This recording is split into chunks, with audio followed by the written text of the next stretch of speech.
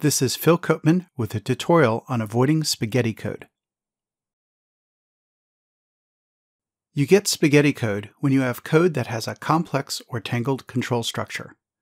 Historically, this came about through undisciplined use of goto statements and other unstructured coding practices. With modern structured programming languages, crazy goto structures are less common, but you can still get spaghetti code easily enough if you aren't careful. Typical anti-pattern signs that you have spaghetti code include the following. Deeply nested conditional statements, for example, if-else structures nested four or five or more levels deep. Modules that have switch statements nested inside or outside of all but the very simplest if statements. Or any code in general that has high cyclomatic complexity, which involves code that has too many paths to perform effective unit testing. We'll talk more about cyclomatic complexity on the next slide.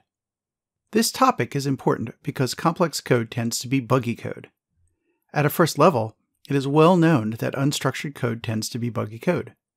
This is because unstructured code is generally hard to understand, difficult to test, and very difficult to peer review effectively.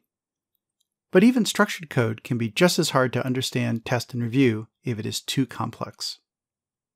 The general idea of avoiding spaghetti code is to limit the complexity within each unit of code, such as a subroutine or method. At some point, the complexity has to show up somewhere in the software, but the idea is to create moderately simple modules that you can understand in isolation, test in isolation, and then, when you're confident of the quality of each module, put them together to create a system. You may have seen at some point a subroutine that is a thousand lines long or more with hundreds of if statements. That's usually spaghetti code. The question is, how complex is too complex, and how do you know when your code changes from good code to spaghetti code? The motivation for limiting complexity is twofold. First, complex code is difficult to review. If your code is too complex, you'll miss defects when performing peer reviews. The human mind of a peer reviewer can handle only so much complexity before it compromises your ability to find bugs. The second motivation to reduce complexity is that complex code can be difficult or impossible to test.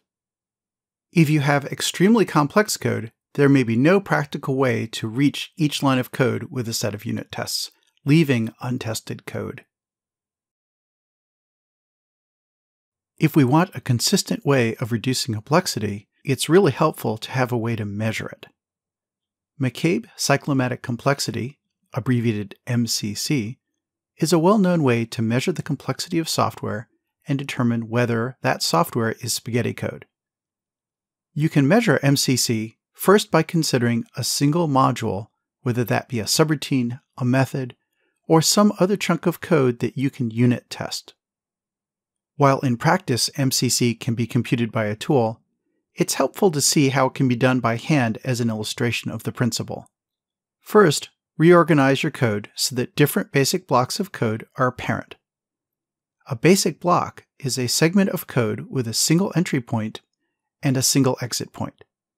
The idea is that once you figure out what a basic block is, when you execute it, you're going to execute all those lines of code together every time. Next, draw a control flow diagram through all the paths in the module, here represented by green arrows. Each arrow shows the path through a single basic block. An if statement has two parallel arrows, one for the fall through path and one for the if path. An if else statement similarly has two arrows, but that covers the two different code paths the if path, and the else path. More complicated, chained if else statements have more parallel paths. Ultimately, all the arrows converge at the final return statement. Once you have drawn the flow control graph, you can compute MCC by counting the number of holes or eyes in the graph.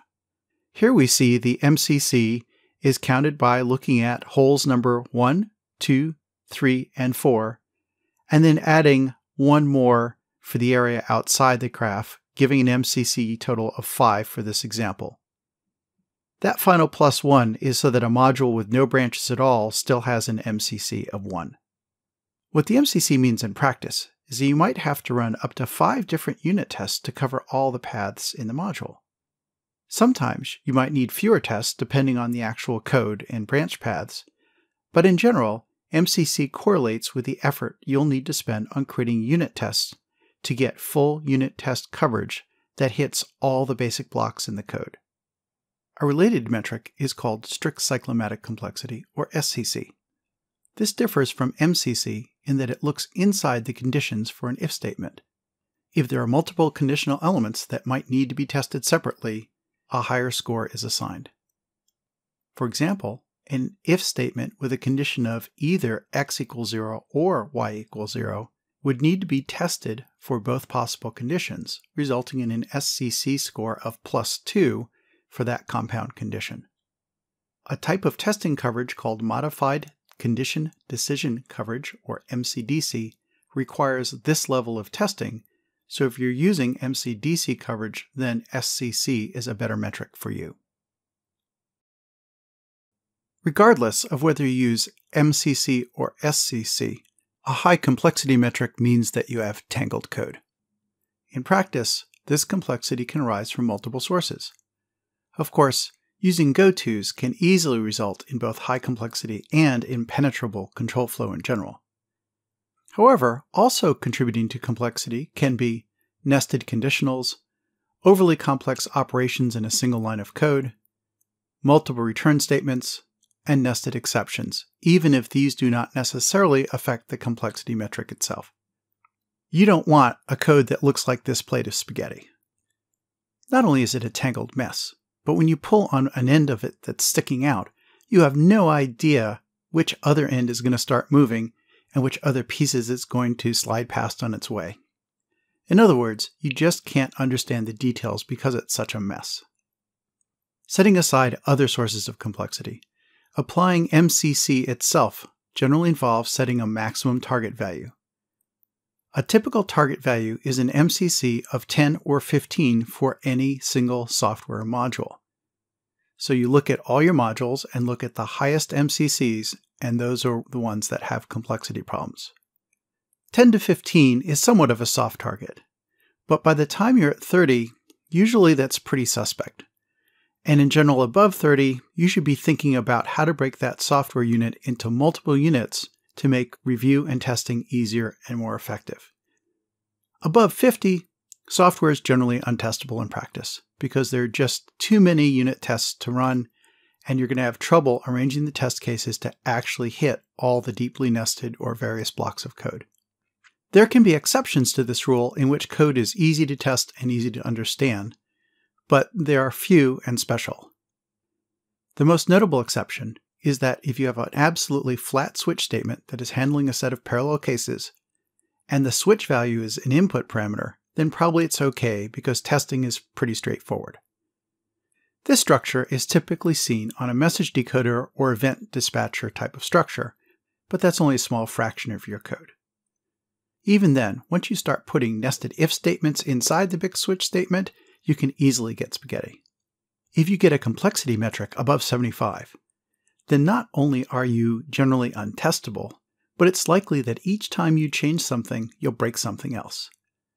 In other words, a complexity metric above 75 predicts you'll have a bug farm in which fixing bugs just results in even more bugs. Generally, with a complexity metric above 75, really all you can do is throw the code away and redesign. It's important to note that these numbers are approximate and depending on your situation, you might want to have somewhat different target numbers. However, the numeric guidelines I've given should be pretty close to what you should be doing. While McCabe cyclomatic complexity, or MCC, is a generally accepted and useful complexity metric, it has a vulnerability in that it can be gamed by using complex conditionals to replace nested if statements. For example, this triply nested if based on x, y, and z would normally add 3 to the MCC metric. However, it can be restated as a complex single conditional using ands and have an MCC addition of only plus 1, but it actually has exactly the same complexity and requires the same number of test cases to get complete coverage. The solution to this vulnerability is to use strict cyclomatic complexity, or SCC, sometimes known as CC2. With SCC, every extra conditional Boolean term adds 1 to the SCC. That way, with this metric, a triply nested if and the double ampersand form both add 3 to the complexity metric, closing this loophole in gaming MCC. There are some important notes for applying either MCC or SCC. The biggest one is this is a per subroutine metric. So if you have one large piece of spaghetti code, breaking it up into small, easily testable subroutines improves the SCC of each one without necessarily changing the complexity of the overall module. But that's okay, because the point of this metric is to encourage you to break up large chunks of complex code into smaller pieces that are easier to understand and easier to test. Putting together ideas from global variables and cyclomatic complexity, we can create the spaghetti factor metric SF. The spaghetti factor SF is equal to the strict cyclomatic complexity SCC plus 5 times the number of global variables plus the number of lines of source code SLOC divided by 20, where the number of lines of source code are the number of C statements, so that excludes comments and counts multi-line statements as a single statement. The scoring on this metric is that you want a sweet spot of about 5 to 10. If every single procedure in your code has no if statements or one if statement, and your SF is down at 1 or 2, you'll have a lot of tiny little subroutines that are hard to keep track of. So having plenty of procedures in the range of 5 to 10 is fine. Lower isn't necessarily better, rather you want quite a bit of the code in the sweet spot. But once the number gets too high, say around 15, you really don't want to be doing that except where you really need to. Around 20, it's time to do a design review and look at refactoring the code. Around 30, you probably want to refactor the design and try and break things up. Now there are exceptions to this. For example, if you have a flat switch statement and that switch statement is handling different byte values as, for example, in a network message dispatcher, that's okay as a one-off exception. But in general, you should not be seeing a lot of that. Around a spaghetti factor score of 50, probably your software is untestable unless it's a special case, and you should be throwing the module away and redesigning. At 75, not only is it untestable, but probably every time you touch it, you break it and it's unmaintainable. And around 100, generally when you see code like that, it's basically a nightmare. You should just be throwing the whole thing away and starting over with that section of your system. Again, these numbers are pretty rough rules of thumb, and a number one or two higher or lower is not that big a deal. It's subject to debate. However, when you see really high numbers on this spaghetti factor metric, you should be really asking yourself why your software is that complex and if there's any possible way to make it simple enough so you have a better chance to test it and to understand it. Best practice for code complexity is to keep the code relatively simple. The highest MCC, or even better SCC, in your system should be below 10 to 15, with the exception of event dispatcher style or state machine handling flat switch statements. These numbers enable thorough unit testing of all your code. It should be noted that this is a metric where extremely low MCC might not be better than a moderate but below 10 to 15 MCC. Breaking code down so that all the MCCs are 2 or 3 can easily lead to code that is too fragmented to make sense. So, balance and moderation are important. A way to visualize this issue is to consider the Chinese puzzle ball shown in the picture. Reaching the center of that puzzle ball requires lining up all the nested carved concentric balls so that you can actually reach the center of the balls, or, in code, the line of code you want to test. Doing so can be tricky and take a lot of time and patience. And unlike this puzzle ball, in spaghetti code, the holes are not regularly spaced and lining them up can be very challenging. Beyond just MCC measurements, there are some additional signs that your code might have too much complexity. If statements should not be nested more than two or three deep. In particular, if you see patterns of deeply nested if statements that have similar logical structures and similar conditions, you might be in a situation where converting the design from a flowchart-based design to a state chart-based design will drastically simplify things by allowing you to trade in those nested ifs for a flat, easy to test switch statement. commingled nesting of if and switch statements is often a complexity warning sign. Breaking up this sort of code can often be done by moving the code for any complex switch statement clause into a separate procedure. That way, you can test the switch statement mechanics for calling particular cases independently from the actions taken by each case. Finally, excessive numbers of breaks and continue statements can make the flow difficult to follow. Multiple return statements are a bit controversial, but they should be used with significant care to avoid creating spaghetti code. If your module is too complex, it's time to break it up into smaller pieces. While re-engineering an existing code base might seem daunting, there are ways to do this a piece at a time that makes sense. A possible management technique is to list the top 5 or 10 highest MCC offenders in a weekly status report and ask two questions. The first question is, why can't they be simplified? And the second question is, do you have 100% unit test code coverage on that high complexity module? If you can't get test coverage, then you should consider simplifying the module. If the logic flow isn't completely obvious, then you probably won't understand where all the bugs are in peer review.